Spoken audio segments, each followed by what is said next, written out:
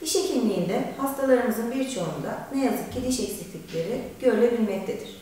Bu diş eksikliği bölgelerinin tedavisinde klasik protez uygulamaları yapılabildiği gibi kemik içi implant tedavisi yapılarak e, dişin eksik olduğu bölgede diş kökü taklit edilebilmektedir.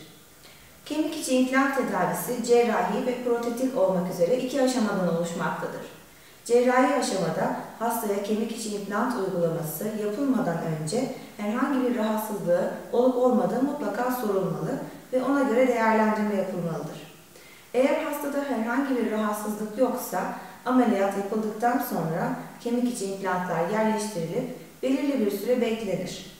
Daha sonra radyografik yani filmler alınarak yapılan kontroller ile protetik aşama dediğimiz porselen restorasyonların yapım aşamasına geçilebilmektedir. Kemik içi implant tedavisi sayesinde komşu dişlerde herhangi bir madde kaybına sebep olunmadığından ideal tedavi olarak kabul edilmektedir.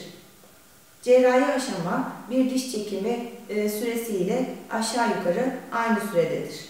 Bu nedenle cerrahi aşamadan kaçınmadan yapılan kemik içi implant tedavileri porselen restorasyonları bitimiyle başarıyla sonuçlanabilmektedir.